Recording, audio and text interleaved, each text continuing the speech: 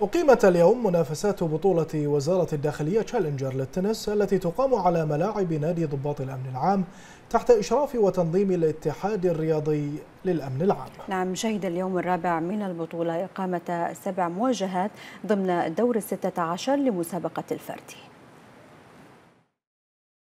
تواصلت منافسات بطولة وزارة الداخلية تشالنجر للتنس التي تقام على ملاعب نادي ضباط الأمن العام تحت إشراف وتنظيم الاتحاد الرياضي للأمن العام ويشهد اليوم الرابع من البطولة إقامة سبع مواجهات ضمن دورة الستة عشر لمسابقة الفردي متلعب ببلد عربي بتحس حالك ببلدك فيعني فيش إشي بيتغير فهي زي ادفانتج لكل لإلي كعربي الصراحة.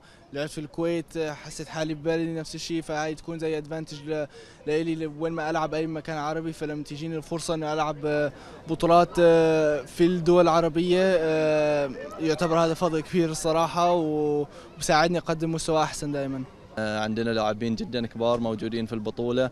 لاعبين سبق إنهم كانوا من ضمن العشرين الاوائل على العالم موجودين هنا اليوم عندنا في النادي. ولاعبين أيضا متفوقين على على توب 10 من لاعبين العالم. فهاي صراحة مو بسهل إنك تجيب وتجذب اهتمام هاي اللاعبين إنهم يجون ويشاركون في في البحرين.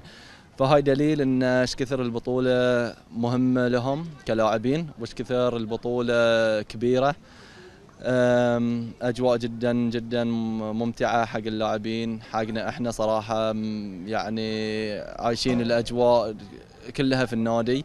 كما افتتح العقيد خالد الخياط رئيس الاتحاد الرياضي للأمن العام رئيس اللجنة المنظمة للبطولة بمعية السيدة زوزانا كونراد ممثلة رابطة المحترفين للتنس معرض إكسبو المصاحب للفعالية بالنادي والذي تم تدشينه تزامنا مع احتفال مملكة البحرين بمناسبة ذكرى ميثاق العمل الوطني حيث شهد المعرض فعاليات اجتماعية ورياضية وترفيهية بغرض تعريف اللاعبين والوفود المشاركة في البطولة بهذه المناسبة الوطنية العزيزة.